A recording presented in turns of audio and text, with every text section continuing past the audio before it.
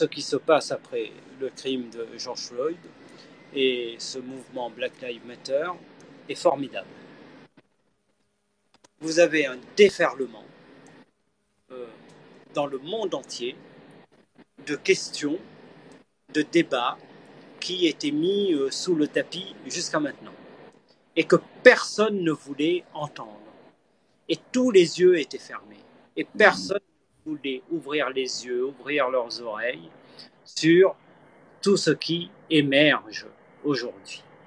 Donc ce débat, il pose beaucoup de questions. Et c'est ces questions-là qu'il faut, faut entendre. Il nous apprend beaucoup plus euh, les euh, actes de déboulonnage ou euh, les, parfois même il y a un peu d'art éphémère hein, dans, dans certaines actions qui, se, qui se font devant ces, ces statues. elles nous conduisent à réfléchir. Et vous avez beaucoup de gens qui passent devant des statues. Bah, les statues ne parlent pas, elles ne disent rien, elles n'enseignent rien. Bon, et là, les gens découvrent. Ils découvrent que Colbert, ce fameux Colbert, ministre de Louis XIV, a été euh, l'auteur du Code noir. Donc les gens euh, commencent à réfléchir un peu sur la question de l'esclavage. Et ils se disent, mais cette personne n'est pas euh, celle qu'on nous a enseignée dans les livres d'histoire. Apparemment, il y a aussi un autre Colbert. Il ne s'agit pas de...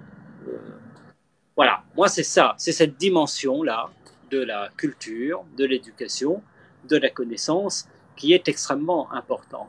Mais euh, je suis les débats actuellement en France. Les gens sont tout à fait scandalisés euh, des actes contre, contre Colbert. Je vois que ça se passe de manière un peu plus, un peu plus pacifique ailleurs, parce qu'en Belgique même, vous avez des maires qui ont pris la décision de déboulonner euh, des, des, statues.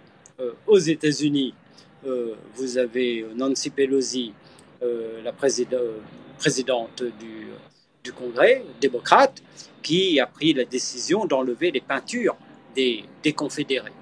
Donc, voilà. Ensuite, je ne dis pas qu'il faut le déboulonner. Moi, à la limite, ce n'est pas le sujet. Il ne faut pas non plus se laisser enfermer dans des débats qui vont diviser les gens. L'objectif, ce n'est pas euh, de créer des affrontements et des déchirures, parce que si le combat antiracisme euh, aboutissait à cela, les premiers qui perdraient, ce sont celles et ceux qui sont déjà euh, discriminés. Donc il faut faire très attention à ce qu'on fait. Mais il faut ne pas fermer les yeux sur l'histoire et comprendre que pour celles et ceux qui viennent des Outre-mer, comme moi, ou pour celles et ceux qui euh, sont des afro-descendants, ou pour celles et ceux qui tout simplement sont euh, animés euh, par les valeurs qui sont les valeurs du humanisme, cela gêne un peu que des figures comme Colbert, qui sont des criminels contre l'humanité, soient comme ça portées en, à la lumière, en gloire, comme ça, euh, euh, dans les capitales.